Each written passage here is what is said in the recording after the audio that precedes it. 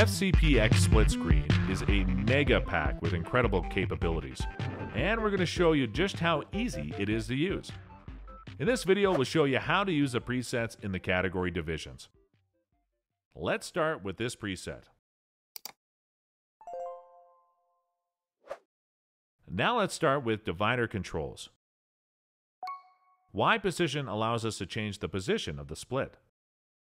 Here's a comparison. Of course, the ideal position will depend on your specific project, so play around with it. And next, let's take a look at split distance. Split distance determines the size of the split during the animation.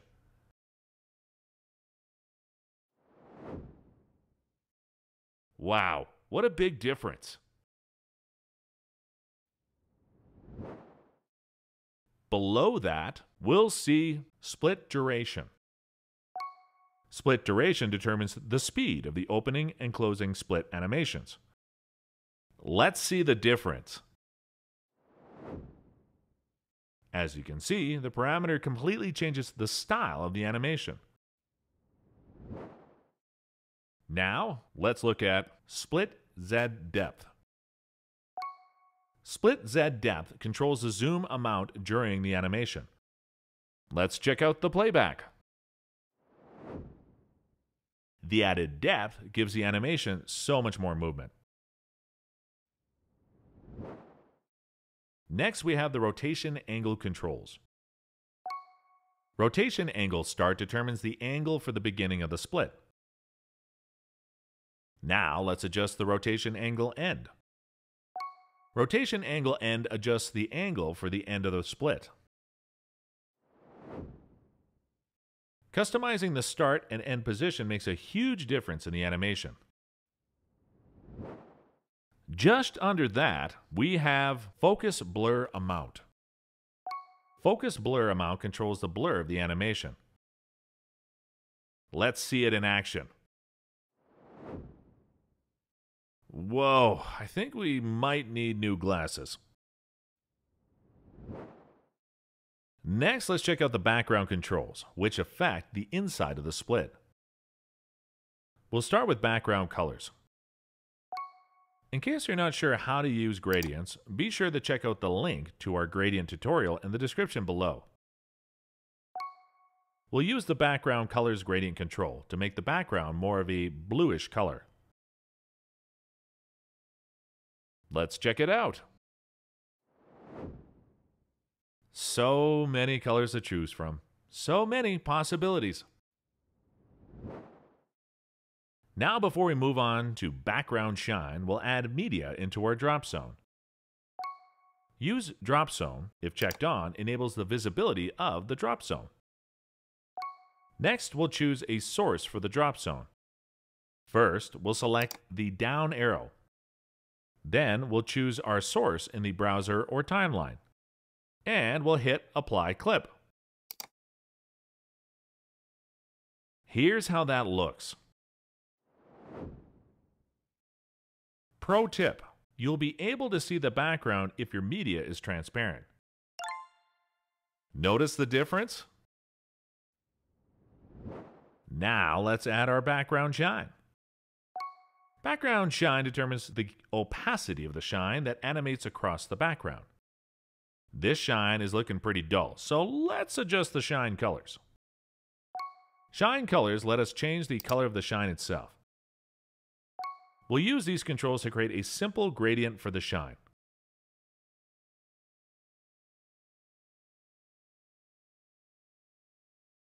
Let's give this light a blue tint.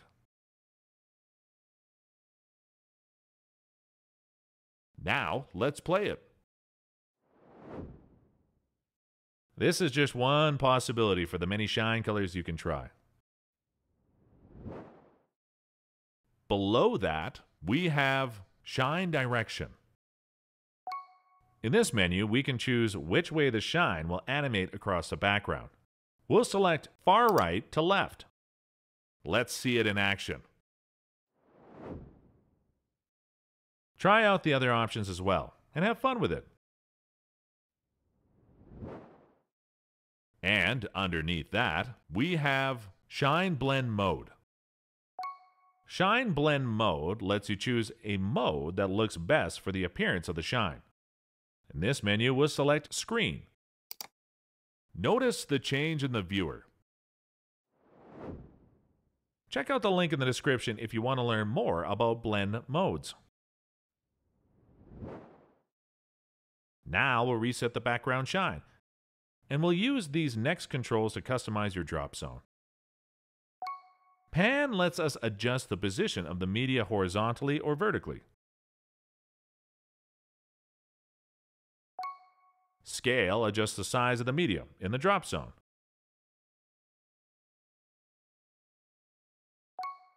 Drop zone position lets us adjust the position of the drop zone area. So it's similar to pan, but it affects the entire drop zone. We'll see another option if we expand the controls. And let's scroll down in the inspector so we can see everything. Notice that we not only have a X and Y control, we also have a Z control. With the Z control, we can adjust the depth of the media. Now, let's look at drop zone rotation. Drop zone rotation determines the angle of the drop zone. We can select this disclosure triangle to expand the controls for more specific adjustments. We only affected the Z rotation earlier, but we can actually have an X and Y rotation to play with as well. With X and Y, we can rotate the media in three-dimensional space. Underneath that, we'll see drop zone scale. Drop zone scale determines the size of the drop zone area.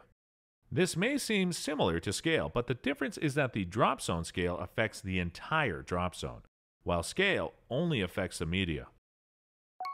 Drop zone opacity controls the transparency of the drop zone. The lower the opacity, the more we can see the background through our media. Now let's scroll down again so that we can see the remaining controls in this preset. And let's check out the text controls. We can turn the text on or off with this checkbox. Next, after that, is title. In this title text box, we can input any text we want. Now, let's adjust the title position. Title position allows us to adjust the horizontal and vertical position of the title text. Title rotation controls the angle of the title text. The subtitle controls below work the same way as the title controls. The only difference is that they affect the subtitle text. So we'll move on to the last section, drop shadow controls. First, we'll check out drop shadow on and off. And we want to have a dark shadow, so we've gone ahead and changed the background to a light color. We can use this checkbox to turn the drop shadow on. It's pretty light right now, but we'll fix that soon. Now let's change the color. With this color well, we can change the color of the shadow. So instead of having a black shadow, we can give it a purple hue. Now let's make this shadow more visible. The amount control adjusts the intensity of the shadow. Now that's eye-catching. Finally, let's look at blur. The blur control determines the fall off of the shadow. Now let's compare the before and after. Play around with these controls to create the perfect shadow in your project. Now let's switch to the next preset in this category to see the different controls.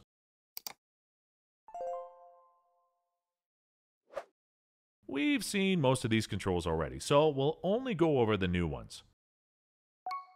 The split guide checkbox turns the guides on or off.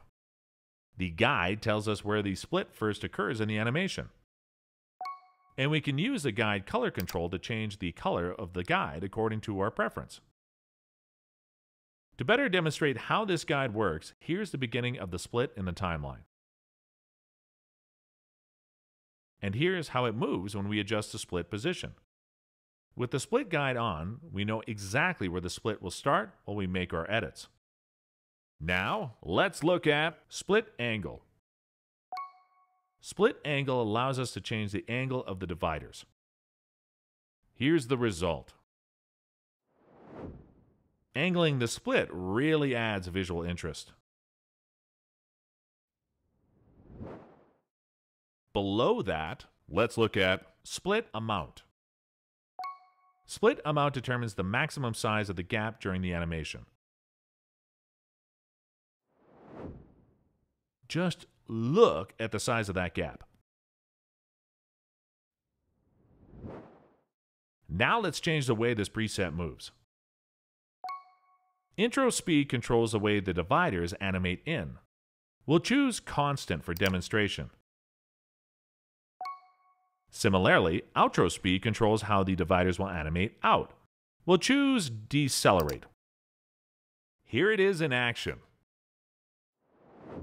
On the right, the intro animates at an even speed and the outro decelerates.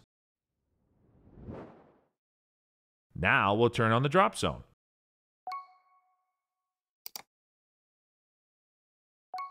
And we'll apply this clip to the drop zone. There are a few drop zone controls here we haven't explored yet. Let's look at tint opacity first. Tint opacity adjusts the transparency of the tint. Now there's a black tint covering the entire drop zone. And following that, let's check out drop zone tint. Drop zone tint allows us to apply a custom color layer on the entire drop zone. Isn't that neat?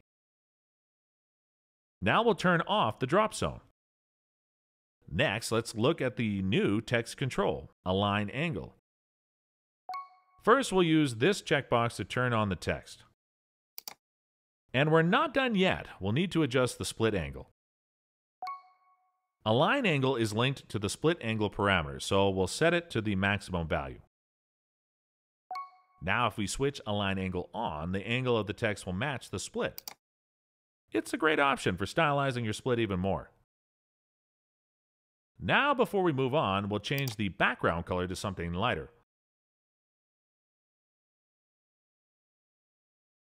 And now we'll scroll all the way down. In the drop shadow controls, let's explore these new parameters. First, we'll select the drop shadow control to turn it on. And we'll leave it as a black shadow. Opacity adjusts the transparency of the shadow. This is helpful for making the shadow more subtle. Distance controls how far the shadow is from the edge. Last but not least, angle. Angle controls the direction of the drop shadow. Congratulations, you're now a master of the division category in FCPX split screen.